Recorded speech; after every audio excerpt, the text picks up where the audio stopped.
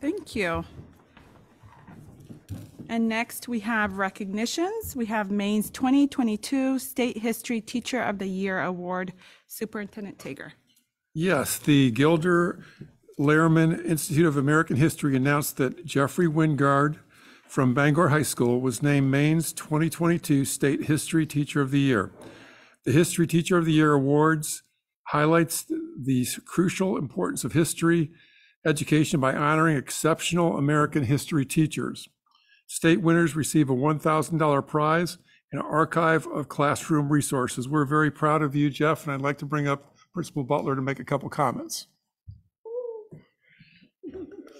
Yeah, um, These things don't happen by accident, and uh, I wasn't aware of the award, but when I got a chance to nominate. Right, on uh, Jeff Wingard's behalf, I realized the substance and the quality of this uh, content area Teacher of the Year Award is really uh, the, uh, the weight of that institute behind it, the fact that it's a state-by-state and a national award, its history, its tradition, all of the things spoke to Jeff. He, he checks off all the boxes. And uh, uh, one thing I can say is uh, uh, he's been a teacher leader uh, for all of his time at Bangor High School that I've known him for 12 years now, and then assumed teacher formal uh, teacher leadership as a department chair. And uh, he is 100% committed to instruction, and he wears those hats so well. He, uh, if I need a place to feel good and about uh, uh, academics at Bangor High School, I go sit in Jeff's room, and I have a hard time holding back because he does it just right. Engages kids. Uh, you can always see the gears turning about assessment or conversation or filament of a conversation we had. And the three years or, or more below, uh, before that is coming alive in what he's doing. He sets direction well, he sets tone well, and uh, it's a terrific honor and um, to have uh, somebody, such a high-quality person as Jeff, to recognize as Teacher of the Year. So all the school congratulates Jeff, and uh, really, really proud of him. Thank you, Jeff. You want to come up? We want to present the school.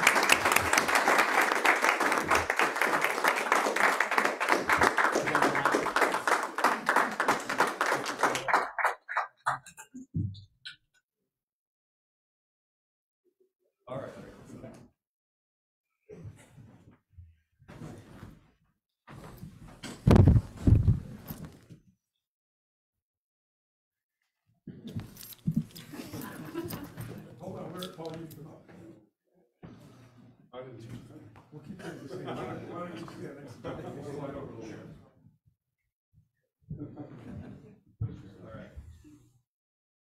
I want to say go Rams. Go Rams.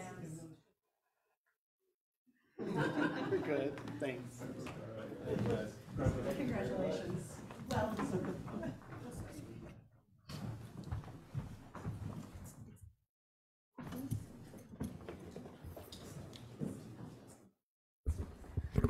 Congratulations once again.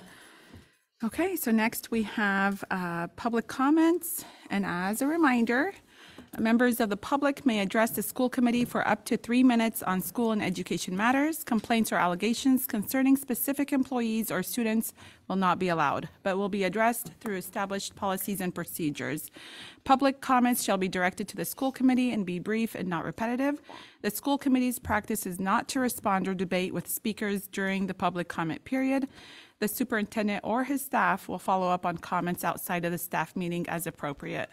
Before starting, please state your name and place of residence. Any public comments tonight?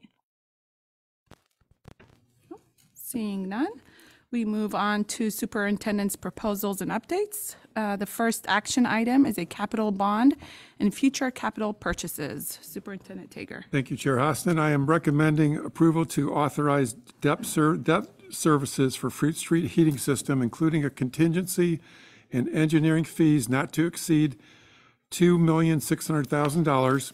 If approved, the project will be presented to the city council for their consideration. And can I get a motion, please? Second. Any discussion or questions or objections? No? Seeing none, all in favor? Motion passes 7-0. Thank you. Thank you. Next, we have several informational items. The first is information on Centegix Crisis Alert System. Yes, we have a guest who's going on Zoom, who's, I'm going to introduce in a second. I would like to- for the school committee to, to know first that I appreciate all the input that I've received from you in regard to Centegix. And I, as one of the school committee members asked me, is to do a, a reference check. I called Addison Davis, the superintendent from Hillsborough Schools in Florida. They're one of the top 10 biggest districts in the United States in regard to Centegix. Uh, What um, Superintendent Davis told me is that they really used um, this um, tool for medical emergencies, mental health emergencies, or if you had a uh, conflict or a fight on a campus, you could use that to get everybody to come to that site to assist that student. And you can designate who that is on your school. And of course, the lockdown is something that nobody wants to experience, but he also said that his community felt very good about having that option. In talking to Chief Hathaway, Bangor Police Department, he's given me um, times from a minute and a half to three minutes that they could respond. And they're also in favor of this uh, proposal. I'd like, and what, what else Superintendent Addison Davis said was that they were very responsive to the needs at the school. And if we move in this direction, which I intend to do as a lighthouse district, uh, I believe they will take care of our needs and satisfy everything that you would expect as a school committee member. So at this point, I introduce Jeff Downs. He'll provide information to the committee on Centegix, a crisis alert system. So Jeff, if you'll just give a quick summary so the public can be aware of this as well. Yes, absolutely. Thank you very much, Superintendent Tager, honorable board members. I appreciate the opportunity to be in front of you today. Just want to make sure that you guys can see my screen with the thumbs up. Everybody's got the screen up. Can Everybody hear me? Yes, you're good. Okay, good to go. All right, very good. All right, so as Superintendent Tager said, uh, speaking to our superintendent down in Hillsborough County, which is one of our actual uh, first customers for this particular product, it is all about responding to any given emergency that happens on a school campus. And so with that being said, it is a wearable technology. It is 100% focused on emergency notification. And it is as simple as press button, help comes. I'm wearing a badge right now on a lanyard right around my neck. It is no thicker than two credit cards thick and no bigger than uh, a standard issued driver's license. So it's not a very cumbersome badge to wear around. Over 2 million people are being protected of the, uh, underneath this uh, platform today. And we've got about 250 school districts that are also on board with this all throughout the Southeast. And we are moving north to, uh, to obviously to Bangor um, at, uh, as we move this uh, platform forward. When we start looking at the, st- the statistics of what uh, schools are dealing with every day, these statistics continue to rise. 18 million students are injured annually. 68% of nurses actually talk about life-threatening uh, uh, incidents that they have to respond to, and we all know from the violence of uh, in the schoolhouses today, those those numbers are continuing to go up. So we need to have something that we can communicate to all first responders to get there faster. We know that rapid response saves lives. It's the number one thing. The big myth is is that rapid response technology can maybe only reside on a cell phone. Unfortunately, there are a lot of things that are inherently wrong with that. The first thing is is low adoption rates. What we have found for most district clients is that most people don't carry their cell phones around with them. We also know that district staff does not like to actually put a uh, an app or a um, any kind of district owned program on their personal cell phones, which which basically results in low adoption rates. We also know that since it rides on a cellular backbone and a lot of buildings cannot get full 100% coverage of service inside of those buildings, it creates dead zones. And then therefore, if there is an emergency that happens in part of the building where the service does not actually activate, we can't get that signal out. So that's a huge problem when you think about responding to any given crisis. The other part is inaccurate location information. This at our GPS uh, triangulation is what the usual um, is the usual uh, thing for most of the uh, apps that are out there and therefore they only pin something in a map, but they don't tell you what floor or what room or what location on the campus that the emergency is in. And then the other part is way too complicated in an emergency. You have to get out your phone, unlock your phone, open the app, initiate the alert. That's a lot of movements to do in a in a chaotic situation.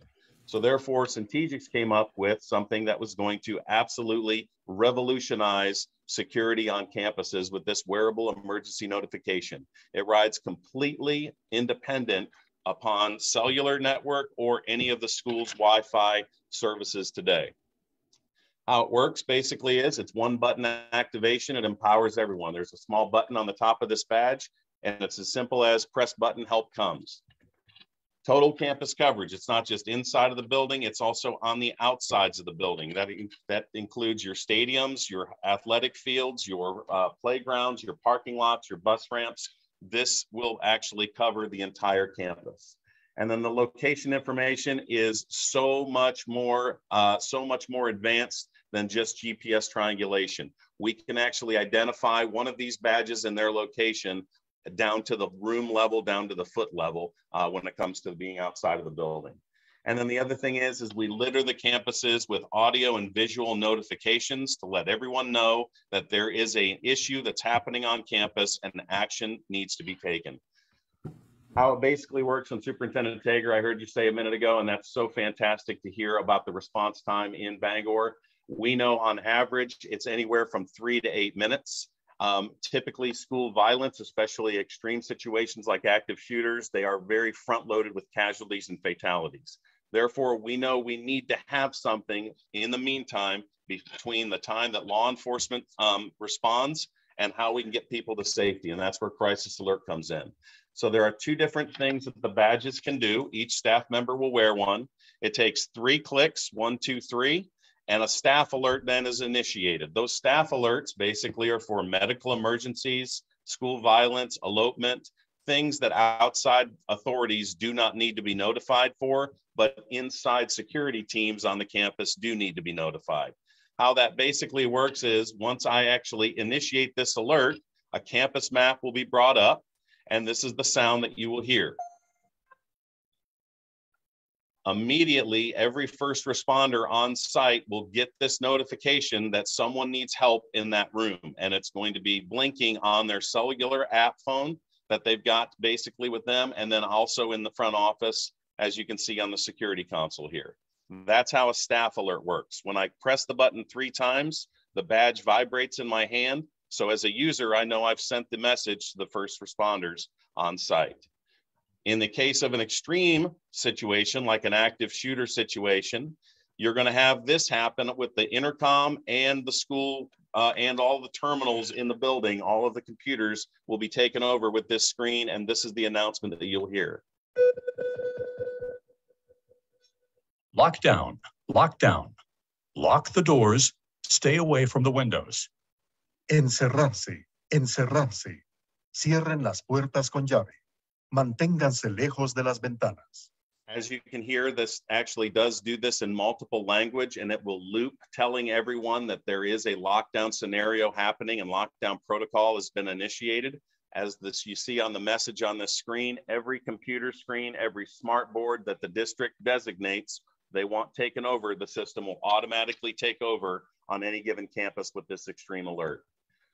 How the alert works is on a badge, instead of three clicks on this badge, I will just keep clicking this badge until these lights that we install in all the hallways, bathrooms, classrooms, offices, all around the campus, we will litter your campus with, with these lights. When these lights start going off red, that's what we tell people. It technically takes about eight to nine clicks on the badge to make them go off. And once they go off, all this happens simultaneously. The lights, the intercom, the screen capture, it will send a message to your first responders on site, and it will also be directly connected to your 911 dispatch in Bangor. Okay. The first responders on site and also the first responders for law enforcement will be given the Centegix companion app that goes onto their mobile devices. You can actually initiate more protocols than just lockdown. The badge can only initiate a lockdown protocol and, and call for a staff alert. But as administrator, an administrator can actually push a shelter in place, a hold in place, an evacuation, a lockout. That's how you actually uh, initiate those other types of protocols. These strobes have multicolored LED lights in them. So a lockout would be red, a shelter in place would be blue. And the same thing, the screen capture, the screen capture will look a little different than what it did with the lockdown that you just saw a minute ago. With our technology, we have a monitored system. So every piece of hardware that we install in any of the Bangor schools, we will have a network operations technician that is looking at the strength of that network every single day. So all those green dots you see on this page, this would be a dashboard look at what our network ops center looks at. We see the signaling strength and the energy levels of this network, and we can tell the health of it, and we proactively monitor it 24 7, 365. It's the only system out there that's actually being monitored like that every single day. It also has the ability to collect a lot of data. So every alert that comes in, you'll be able to track and you'll be able to sharpen up your benchmarks as a district to respond to emergencies that much more effectively and that much faster. And it can actually pull down in several different ways. It can pull down an Excel spreadsheet. You can look at it as an alert history in a chart or as in a dashboard graph. And that's the presentation. Uh, Do you have any questions for me? Um, Member Luciano. Is there an opportunity to customize the additional languages that are available? Absolutely. That's a great question. Yes, you can customize all languages. You can do it in multiple, you can do multiple languages uh, as, as up to a, probably a dozen different languages all at one time. Okay, thank you. And Member Surratt. Hey, thanks for the presentation. I just wanted to be clear on something. So, so everybody in the building, all staff, faculty, et cetera, will have the lanyard with the clicker. The emergency team members will also have a cell phone. Is that correct? And so they'll need to carry that cell phone at all times. Is that correct? So the emergency responders will get the companion app, and that's what actually pulls up the campus map. So if I'm a teacher, I wear one of these badges. And so when I push this badge, it would show up on this. So as a first responder, yes, you would be required to have a mobile device on you at all times. And would the issue around dead zones and would that apply to those to those cell phones? No, no, it will not because it's going to be a direct connect to the to the to the app. And what it'll basically do is it'll come over, basically it'll take over the network and run through the Wi-Fi if it needs to to connect to a map if there is any dead zones. Okay, thank you. Any other questions or comments? And just for clarification, we have met as a school committee um, during uh, executive session to talk about confidential logistics. And so most of us, I think all of us, have had a chance to ask questions uh, of both Ray and, and Superintendent Tager. Um, and so thank you so much. And as I'm hitting the campaign trails uh, this season and, uh, you know, I'm canvassing and knocking on doors, this um, is actually one of the top issues that is heavy on parents' minds. This is something, school safety is a question that I get asked a lot. And so I'm happy now that we've spoken about it publicly that I can share this information. It makes many parents feel safe. So thank you both so much. Thank you. Thank you, Jeff. Thank you Thank very Jeff. much. Have a nice evening. You too. Okay. So next we have a curriculum update. Assistant Superintendent Kathy Harris Smedberg will provide you a curriculum update.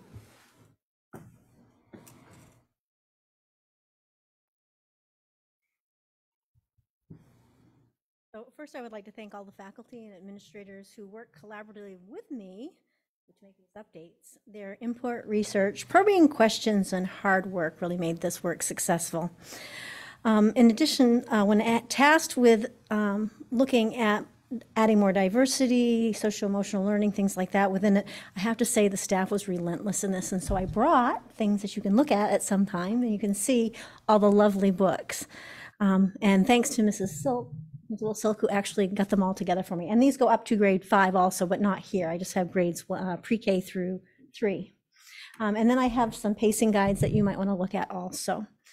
Um, The Bangor School Department continues to follow the Maine law and adherence to the Maine learning results um, for the K to 8 curriculum. So all curriculum work is enhancing the instruction of the MLRs. So the projects that we did, pre-K, uh, we do follow the Maine early learning and development standards as our curriculum basis. As we've moved to a full day of pre-K, we needed to round the curriculum out. Uh, we address the language arts through the Fountas and Pinnell materials that we have here. um, so that when moving to kindergarten, I think we- we're going to find a stronger foundation due to the consistency of learning and the set of spiraling skills that they're all building off from. In math at pre-K, we incorporate a series of hands-on learning experiences, which allow students to use manipulatives to better understand concepts. So basically, teachers got totes full of materials that students can use for counting, patterning, um, just anything that makes them better mathematicians. Um, as part of the full day, we had to look at the full schedule. So we've added active experiential learning time, a rest time, themes. They're all built into pre-K. Pre-K is pretty amazing here. um, we've just been very pleased with the richness of which the quality of programming has occurred. And finally, assessments were updated. Um, K through five ELA curriculum, again, was updated. And again, we're using these books here. Um, the materials are designed to support the workshop model, which means whole group instruction, small group instruction, individual help. Um, and so it all supports that type of learning, which we've had as instructional practice for years beyond me. Um, components include, but are not exclusive to, interactive read alouds, reading mini lessons, writing mini lessons, sharing reading, phonics, spelling, and word study, guided reading, book clubs, independent reading collections. It's a very well-rounded study. Pacing guides were developed to ensure consistency and efficacy of the learning for all the students. Again, we provided professional development before school got out in the spring, as well as during Teacher Academy this fall. Uh, I think you'll find the teachers are really thrilled with them, especially the threats that I got if I don't return these books. um, K to 12 uh, school counselors were trained in the Why Try program. This is a supplemental program designed to provide students with simple, hands-on strategies and resources to motivate unmotivated students, support students with trauma, improve student engagement, increase academic success, and teach social and emotional education through visual analogies. And it's reinforced through the use of music, hands-on activities, and multimedia. Um, again, we're still using the second step as our primary focus, but Why Try is an enhancement to that. I did want to share a story that Kristen Tilley shared with me. She's the counselor at Fairmount. She says, the students love the visual metaphor of the roller coaster. I had a student come up to me and say, I have been on the fast and easy track my whole life. He's nine. and I really want to get in on the harder but worth it track. So something stuck with the student in a very positive way. Uh, grades six through eight also had ELA updates, and again, we follow the Maine learning results. Um, but what is unique about ELA compared to other subjects is that you're increasing levels of sophistication. So, for example, punctuation is covered multiple years. Elementary grades might see the use of how to use periods, uh, explanation points, or something like that. Whereas you go up, you'll see point of ellipses and so, semicolons, things like that. Um, so we reviewed um, some of the changes that happened in the Maine learning results um, and incorporated a persistent progression of sophistication um, and addressed the needs of how to level up at each grade level. Common topics were success were selected for each quarter that promoted or enhanced the skills that we're focusing on and ensured that our middle school students were being exposed to well-rounded and robust educational experiences essential questions were developed. And I want you to understand that um, when you say we're going to do theme, theme is kind of broad. So what is it that we want to make sure a sixth grader understands about theme or a seventh grader? They, they differ. Uh, common assessments were developed and refined and writing expectations were built into each project. Again, with the 6 through 8 ELA, we really focused upon incorporating a larger range of diversity and understanding of different cultures um, as part of uh, promoting the skills that they're trying to work on. Grades six through eight, science. Uh, again, we do the Maine learning results as well as the next generation science standards. Uh, we started by reviewing the MLRs, which also underwent some changes at the state level. Um, and we wanted to make sure that we had a good progression between six through eight and didn't have redundancies or gaps. So that was all firmed up. Um, we have a vertical alignment of labs, and content was then conducted for similar reasoning and alignment between East and West. Um, so we made that recalibration happen. We updated pacing guides, again, um, incorporated more hands activities, understanding that labs are how students learn really well, refined the assessments, and then brought diversity into our lessons. Essential questions were also developed. Um, again, so something like space is pretty vast, figuratively and literally, um, and making sure that we had core components that we want to make sure all our students understand. Um, we uh, made a database of resources and extra labs that teachers can access. And we updated the standards-based report card to better reflect those overarching understandings that all students need to know in their scientific study. Grades six through eight, social studies followed a similar process that uh, science did. Again, we reviewed the MLRs because they were changed. Uh, they went some major changes. They added the school finance units as well as Wabanaki studies. Um, so there was a bit more work that we needed to do in this area. Um, we did the vertical alignment, again, making sure that we had um, the levels that we needed for each grade level. Common assessments and rubrics were developed. Essential questions were also developed. Um, we did a lot of work with Wabanaki studies, and I did bring one of the pieces. And what we have done is we've interwoven it throughout the entire year, so it doesn't feel like a standalone. Uh, it's something that should just be uh, just a part of the generalized understanding of how social studies works. Um, uh, the financial literacy is also built in. That is more of a standalone um, time, although they have some pieces and activities that are littered throughout the year. And it's basically to help our children understand uh, financial literacy. Um, grades 9 through 12 also did some curriculum work. The department heads led these. And again, we did 9 through 12 English. Um, the foci for them were common reading assessments, revising scope and sequences for moving to the block schedule to the mod schedule. Uh, social studies did the same thing. Again, they had to incorporate the Wabanaki studies in the personal finance. So those were areas that were addressed. And world languages I worked on their vertical alignment uh, to ensure that consistency was had from grade six through 12.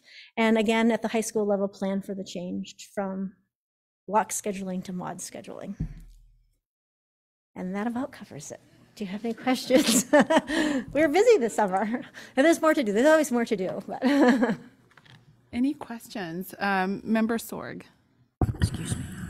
Yes. Do we have any data yet on the transition of our students from last year who were pre-K to K, where they fit as far as being academically prepared for kindergarten?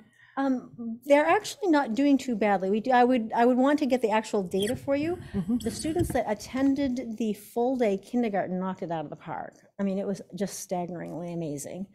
Um, and you know there are areas in each that had strengths and weaknesses. Rhyming still seems to be something that we struggle with a little bit, but we've we've when, when we did our pre-K curriculum work, we incorporated more opportunities for rhyming, brought back a lot of things like nursery rhymes and um, things that would help children with cadence and rhyming and understanding like that sounds. So um, I'm very excited that we have more schools, two more schools that have full day pre-K. Um, and we're, I think we'll see equally good results. So I'm hopeful. Other questions, comments? No? All righty. Well, Thank you so much. And next is reading recovery update. Yeah, that's me too. I think I'm going to get some help though. Somebody's going to come and set up a slideshow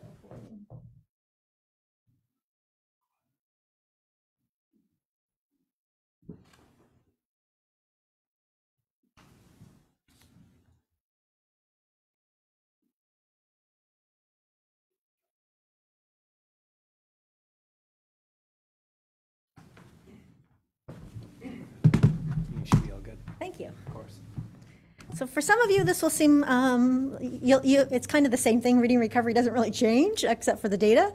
Um, but uh, it may be a good learning for people that are new. So. Um, so we know that reading is really, really important. We know that levels of um, incarceration are increased if they're below grade level. We know that they have more behavioral and social emotional problems in subsequent grades. They have less opportunity to graduate.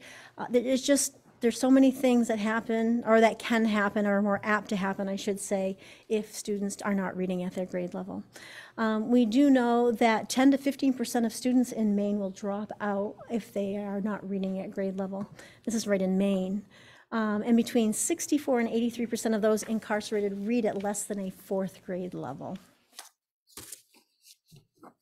Um, literacy rates are also lower among those living in poverty, um, having um, more unemployment rates, uh, less likely to attend higher education. And um, I've kind of shared those similar things, so I think we go on for that. Uh, we do know that if they have intervention that's early and well-structured, that they can have high levels of success. We find reading recovery is one of our most successful interventions. Um, so reading recovery is a short-term reading intervention for 20 weeks for only first graders. It provides intensive individual instruction, um, and it is identified through common assessments, and the services are provided by our highly trained teachers, specifically our literacy coaches and our Title I teachers. The primary goal is basically to get them reading at grade level, um, but they also hope, you know, it's going to enhance all the other aspects of their lives, self-esteem, um, just feeling good about themselves as a student and a person. Um, so I said this one-on-one instruction, highly trained teachers, and actually I should uh, clarify the highly trained, they have to take reading recovery courses and they have to maintain it. So every year they're involved in making sure they're staying current and up to date on the reading recovery practices. Um, the inclusion includes phonemic awareness, phonics, guided oral reading, comprehension, and fluency. We have them at four of our five um, pre-K to three schools. Fruit Street does not have it because they are not a Title I school, and Reading Recovery is funded by Title I in our district. Miss Principal Fournier would love to have that changed, just. There are 11 reading recovery teachers, there are five literacy coaches, oh, that doesn't add up, five literacy coaches and five Title I teachers, that should be 10, sorry about that. Yes, I can do math. Oh, golly. Um, We are part of what's called the Eastern Maine Reading Recovery uh, Group, and this uh, includes schools that are from the Bangor and Ellsworth areas. There are 28 schools and 131 students that were serviced this year. There are different outcomes. We want them to discontinue. That doesn't sound like it's a great thing, but it is. Discontinue means that they've met all the benchmarks, they've achieved what we want them to achieve. Recommended means that they did not meet the benchmarks. They met, they need further help, but they did really well. Incomplete, the program um, was not completed. Moved, student moved during a program, and then other, the parent might have stopped the services or something happened to interrupt the learning. So in Bangor, we had 12 students. Um, we, we're having fewer and fewer students because um, we're finding we have stronger needs. And so to say that some students can't get any services at all, would rather have them in a small literacy group um, than to not get any type of help. So I've said that they only get two rotations. They, each teacher and coach will get their first 20 weeks and a second 20 weeks, not the literacy coaches because there are other things going, but. Um, so of those 12 students, 58% um, were discontinued. And that reflects similarly to the Eastern Maine cohort, which was 60%. You can see 25% of the students uh, made progress but did not meet benchmark, whereas they had 21%. They're, they're relatively close. Um, here's the breakdown by schools. Now, you should be a little cautious about understanding these percentages because when you have one student and they don't make it 0%, I mean, it's a little deceiving, and 50%. So it, the, the end sample size is, is not really what we would like to have. But if you can see, our district had 58%, while Eastern Maine had a total of 48%. And they no longer uh, give us information about state and national data anymore. And this is Bangor, Eastern Maine, and national data. Again, they haven't done it. And there are asterisks from 19, 2019 to 2022. And again, we had a high rate of people not continuing because, well, in 2020, we shut school down. So people that were in that second 20 week never finished. So those are all incomplete. 22, 20, 21, we had a lot of um, people that were in and out. Um, so again, there was a higher level of incomplete. And 21, 22, we're starting to get back, but absences still continue. But still, still, still all right. Um, students who were discontinued made an average growth of a year and a half. I mean, so these are substantial gains. And those that were recommended also made a growth of a year and a half. So even though they didn't make benchmark, they still grew over a year and a half.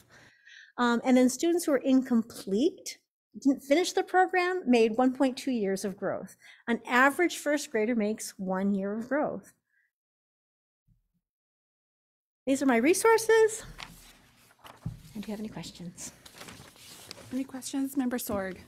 Yes, I got questions tonight. Okay. Um, is the phonics method the only method they use? or No. What else do they use? They use phonemic awareness, um, I can't remember the four points, but it's, it's a comprehension, vocabulary, it's a wide range of, of, Do- Do they use good old fashioned sight word if a child Yes. can't give yeah, their phonics? sight words are part of it. Okay. It's a component, it's not the whole thing. Okay. The other question was, and I think I've asked you this before, but I wanted it to be brought out. If a child does not make it in Title One, is there assistance for them, say like in second grade, third grade? So they, we offer Title One support in grades K through five. So that title support is still available in our title schools. Not all schools have title. Okay. Um, and title is based upon an allocation by the federal government based upon the number of students who qualify for free and reduced lunch. So I'm always saying, even though everybody get free lunch, these forms are still really important because the federal government depends on these forms in which to tell us how much allocation we get for Title I. So do both of our fourth and fifth grades? No, Mary Snow does not receive Title I this year for the first time. Fairmount does. And we should know that reading struggles know no socioeconomic bounds, but the money is tied to the free and reduced lunch levels. I mean, a child does not have to qualify for free or reduced to get services, but the allocation to the school is dependent upon the percentage. So they have to have 40% or more of their students um, receive free or reduced lunch in order to qualify as a Title I school. Once you've qualified, you can dip below to that 35%, but if you're below that, then you can't. Mary Snow, 14th, lost their funding this year because they have dropped below the 35% multiple years, actually. There is still help there for those students who don't read at grade level. They don't have title help, no. That's right, but there is still help there. Well, not specific title help, no. Okay. Tricky question, huh? Well, um, so through the COVID grant, they do have a tutor that would provide interventions for them, but once that grant goes away, then it's going to really depend upon solid work of classroom instructors. So I have a question. Um, do we have um, anything or a program or something to really engage parents or guardians? Um, and I'm thinking about, you know, the, the community aspect part of it and how social determinants of health affect and significantly impact literacy. And so I'm wondering how, um, you know, for low socioeconomic status and even, you know, students um, who have parents, guardians from diverse cultures and backgrounds who probably don't read to their children. So do we have anything in place to really engage with parents, guardians to? Well, get yes, we do. so we have our, their peak events, and the peak events are specifically geared to help parents help their children at home. Um, and so the activities are usually grade age appropriate, um, and they often go home with something to help reinforce the skill at home. Um, part of part of reading recovery is um, parent like they send home book bags so that they're supposed to be reading at home with instructions on how to do it. Um, and anytime the title works, they're more than happy to reach out to parents if they have individual questions about that. The peak events, though, are really fun uh, because they're they're there's usually a really neat activity to help reinforce. One of the thing, I mean, a couple of things, like they have measuring cups and they do a cooking activity. Um, mm, Another group built bookcases so that they'd want to have books to have their own library at home. They show them how to read. They'll give them um, like a bookmark that will tell them how to read with their child. I mean, you think reading with your child is a very simple thing, but it's not. Um, you know, some people just take over and the kids don't see the words or how the page is turned or talk about pictures or things like that. So there's small things that we try to put out, not so overwhelming that it becomes difficult, but in small bites so that they can really, you know, absorb it and make it part of their routines. Excellent. And are home visits included in this? Uh, we don't do home visits Okay. typically, no, especially since COVID. with COVID. I know. Hopefully, we're at the tail end of it. Yes, perfect. And I, I I think I asked Mr. Fournier this question before, but for um, Fruit Street students uh, who do need this, are they just kind of shuffled, or what, what happens to to your students? I think you answered this question before, but I don't recall the answer. You mean this, good evening. You mean the students, Yes. because we don't have title support? Yes. Uh, Creative. Um, Currently, we hired an academic support at Tech. Um, And based off data, first grade will get support, and then along with second and now third. And then after six weeks, we, we will review the data and make the changes if necessary. So great teachers, creative, always work in the process, so. Excellent school. I just, I, I worry so much about students. No, we, we, we always make sure we try to get all the students who need the help, the help they deserve, either through community school as Yes. well. Can I ask a question? Go ahead. Um, do you have an after-school reading support program? Uh, we have community school, so depending on what we're offering, sometimes we offer writing, math, reading, so. Okay. And then we also mix it in with Mrs. Libby, Mhm. the art teacher who does literacy and art. And so she usually ties something in together, so try to get them all. Thank you. You're welcome. Thank you. Any other Questions, questions? Member Luciano? No, you're good. Okay. All right. Thank you so much. We appreciate it. Okay. Next, we have report of reassignments for school year 2022, 2023. I'm reporting the following teacher reassignments for school year 2022, 2023. Jillian Cookson from speech and language pathologist at Point Eight Fairmount School and Point Two 14th Street School to speech and language pathologist at Point Five Fairmount School and Point Five 14th School. Thank you. We move on to business action items. Uh, We have action items. First, we have minutes, regular meeting of September 14th, 2022. I'm recommending approval of the draft minutes of the September 14th, 2022 regular school committee meeting. Motion, please. Second? Uh, Any questions or discussion? All in favor? Any? Passes seven zero. Thank you. Next, we have a financial report. Uh, First, we have an unaudited June financial report. I'm recommending approval of the unaudited June financial report and the July financial report. So we're, we're taking the two You together. can, you can, yep. Okay, we'll take them together. Uh, Can I get a motion, please? So moved. Second. Any discussion or questions? All those in favor? Passes seven zero. Thank you.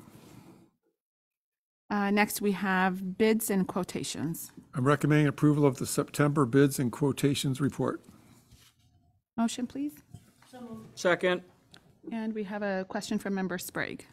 Thank you. I, I'm not going to oppose this. I don't have any reason to, and I'm not going to micromanage the bid process other than to j- just to say that it's a really weak bid season right now, I think. And when you look through the report, there's a lot of items that are only getting one or two bids.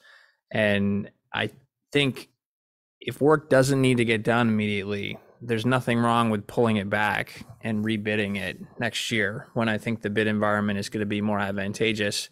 We could save 10 or 20% or more on some of these in a more competitive bid environment. And I get that some of the work just has to be done, but otherwise, I think we should try to pull some back and maybe save. I'm talking hundreds of thousands of dollars potentially if we save a little bit here and there. So, again, not going to micromanage it. I think you're probably fully aware of what I'm saying already, but I just wanted to draw attention to that. Thanks. Did you want to comment, Jerry, or no? Sure.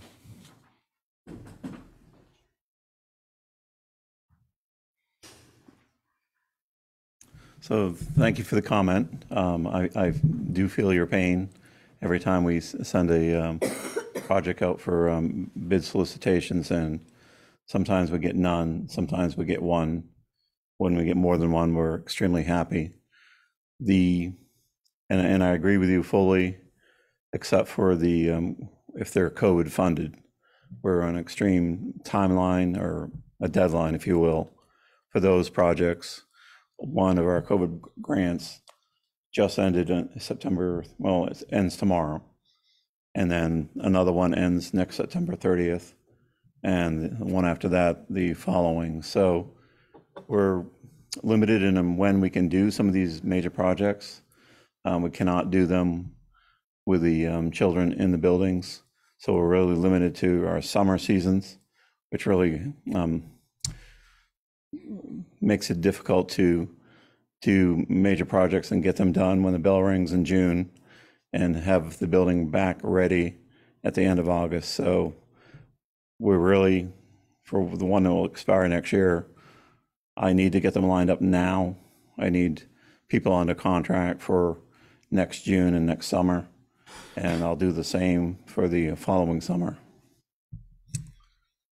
Thank you. Yep. Thank you. Thank you. And any other questions? No? All in favor? Thank you. Seven zero. Next, we have personnel. We have extra duty assignments. I'm recommending committee approval of the following extra duty assignments for the school year 2022, 2023. Joshua Johnson, Chorus Director, James F. Doughty School. Kate Lift-Dolph, Freshman Class Advisor, Bangor High School. Justin Jock, Freshman Class Advisor, Bangor High School. Stephanie Hendricks, Speech Advisor, Bangor High School.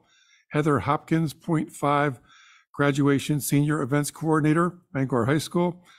Eric Hutchins, Point Five, Graduation Senior Events Coordinator, Bangor High School. Motion, please. Any questions or discussion? No? All in favor? Passes seven zero. Thank you.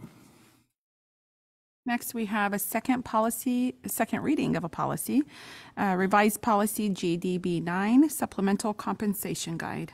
I'm recommending second reading of a revised policy, revised policy GDB 9 supplemental compensation guide. Motion, please. Second. Any questions or discussion? No? All in favor?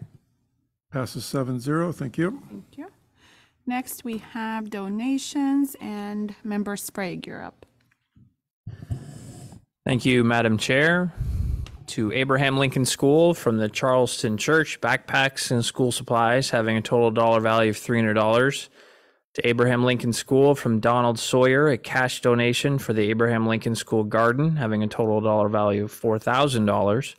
To Fruit Street School from the Charleston Church, backpacks and school supplies having a total dollar value of $200 to Fruit Street School from TD Bank, school supplies having a total do- total dollar value of $300. With gratitude, I would make a motion to accept. Can I get a second? All in favor? I have a question. Oh, sorry, members, um, Sychterz. Um, I, I was wondering if somebody could talk a little bit about the um, Abraham Lincoln School Garden. Is uh, Director Babin? Well, We may have to save that for the next Okay. one. She is not here today, the well, principal. thank you, Mr. Sawyer, so.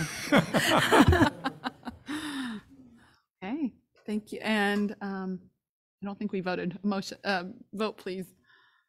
That's Passes seven zero. Thank you. Thank you so much. And we don't have any introduction items, so moving on to committee updates. Um, But first, any comments or questions from the committee? First chance. Okay, let's move on to um, representatives' reports. Do we have any from UTC? Anything? No? Nothing yet. And, and we will have um, more assignments at our reorganizational meeting. So um, more to come on that. And um, do we have a student committee member update? Member Sada? Thank you. So, I'd like to bring up an issue that's been happening at the high school, and I'm sure some of you are already aware of it. But last week, when we had those crazy rainstorms, the high school building didn't do too well handling the sudden intake of water.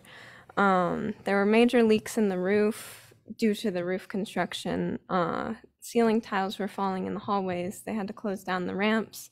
I knew of like one or two classes that had to be relocated because their classrooms were unusable. Uh, so, as you can imagine, I've heard from a number of students and staff that this was very disruptive to the learning environment during those couple of days. And we do appreciate what the administration did to try to mitigate the effects of this. You know, for example, there was more leniency on tardiness to class because students had to like walk all the way around the building because they were, you know, rerouted. And, but like, I'm just bringing this up so that people are aware, you know, we need to ask how did we let this happen? How can we prevent it with future construction projects? especially during construction projects that happen during the school year. In other news, uh, a lot of schools are preparing for fall events already. Uh, the homecoming dance and the homecoming game will happen um, in no time, and students are preparing for Spirit Week, where students can dress up for different theme days. And uh, I think it's planned to have a full week of advisory so that there can be more fun activities during that week in early October. Um, and in addition, high school seniors will have an opportunity for on the spots admissions at the high school in October. A lot of Maine public universities and community colleges will be coming to interview students who are interested and they'll make decisions on the spot about admission and financial aid and all of that. So that is a really good opportunity for many students. So that's all I have. Thank you. Thank you so much. Superintendent Tager, do you want to address? Do you want to just make a mention about the roof? Yeah. Very brief. I did, Yeah. I did receive many Yeah, questions. we've- I've said it all, some of it behind closed doors frustration, and you've said it eloquently. We've been frustrated, but we see that there's um, a need, opportunity. Uh, We gritted it out. I think there, uh, it's fair to say there could have been uh, better communication up and down the line, but really the way I look at it, it's the nature of a huge project and seizing a big opportunity. Uh, Those days were terrible. Uh, It was confounding because uh, the, the roof that had stood up in ways and stood up against rain uh, in ways previous to those two days that Caroline mentioned didn't stand up oddly on days that were, were truthfully less of issues than before. Um, I was encouraged to take comfort in the uh, finishing of the structural steel, which I did, and that meant that all the 142 holes that went in the roof were, were, were patched. Uh, They're getting the decking on now. Um, We're the customer, they've treated us like the customer, and we've licked our wounds internally. It's been good leadership from Mr. Tager and our engineers to do it better. That's been my question too, Caroline, but uh, there's, there's not been any bad faith. There's been good opportunity to seize things that came along, and uh, like I've said, if any school can do it, ours can. And I promise you that I won't look forward to the day that I have to do that and anything that I can do to make sure that uh, we're uh, more uh, aware and able to uh, dodge and weave. We certainly will. But kids have been great and glad that the finish line is coming. Yes, thank, thank you. And I, and I do want to address this too. And I want the school committee to know that we're obviously grateful for the federal funds that we have received. And we have a number of projects and to uh, Member Sprague's comment, uh, I want to, to just kind of bring it to, to your attention that the Fruit Street heating system actually came in lower than we thought it was originally. So we are looking at those things. And this project at the high school was supposed to, and Jerry, you could nod if I'm right or wrong, last over a year, I believe, and they're going to be two years. And it'll be done in one year in November. And, the- and Caroline, you're right, there were some hardships along the way. And where um, Principal Butler and I were both frustrated is when there were leaks, and there were two days that were particularly bad. It was our custodial staff that really rose and did all the work. I mean, they had a machine that they were getting all the water up there, filling 55 gallon buckets full of water and doing all the work. And uh, Principal Butler and I were able to meet with the contractor, with Mr. Heyman as well, Director Heyman. And it just seemed like our custodians showed that they really cared and we weren't getting the support from the contractor. I could tell you that after the meeting, when we had the second day of rain, the contractor freed up people from the job to kind of patrol those two. It was uh, A, A, B, and D, I think, right? So A and B didn't leak at all after the meeting. And then D, um, they went and they problem solved how to solve those problems. But with a project this size, there were going to be leaks. It was not um, all that surprising, but we had hoped people would probably chip in better to solve those problems as they occurred. And the other part that people probably don't realize, it's a big job, and the the the idea behind it was so the roof can hold snow. And we now have probably the strongest roof in the state of Maine, I would guess. But the other option was to take the roof completely off, which would have meant moving students all over the building for that period of time. So inconvenient, right? I'm glad you brought it up, but um, I think we're at a point now where this will be done mid-November and it'll be a, hopefully a, a memory that we can all forget at some point. Was any of that accurate or inaccurate, Jerry? Did I do okay? Okay, thank you. And I just want to add too that I received a lot of the emails from either staff or students or parents. And so um, we did our due diligence and I would relay them to Superintendent Tager and, and I applaud his leadership and Principal Butler because they addressed every single you know thing that was um, that was brought to our attention and so and they would circle back and and if you could as our representative to you know share that out with students as well allowing them to know that we really you know, took their concerns and their frustration at heart and try to do due diligence. But as um, as everyone said here, we had to really capitalize on this COVID money that we had. So crossing our fingers for no more. yeah. Um, and with that, we move to informational items. We have several important dates. We have Thursday, October 13th, 2022, regular meeting, 7 p.m. Council Chambers. Wednesday, October 26, 2022, regular meeting here, 7 p.m. Council Chambers. Monday, November 14th, we have our reorganizational meeting, uh, 11 a.m. here in Council Chambers.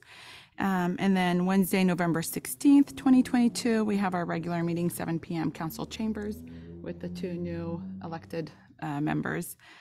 Um, and then second, Second, ask for questions or comments from the committee. So I saw Member Luciano first and then Member Sychterz. Carin, you can go ahead and go first. Um, yeah, I just, I just wanted to kind of echo a little bit of what um, Caroline was saying. It's, it's really, really lovely for this class who their freshman year, everything went into lockdown.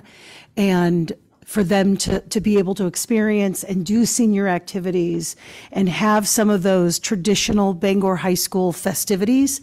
And it just, I, I think the whole class is so grateful and appreciative of all the work that our administration and teachers and everybody has done to bring that back to them.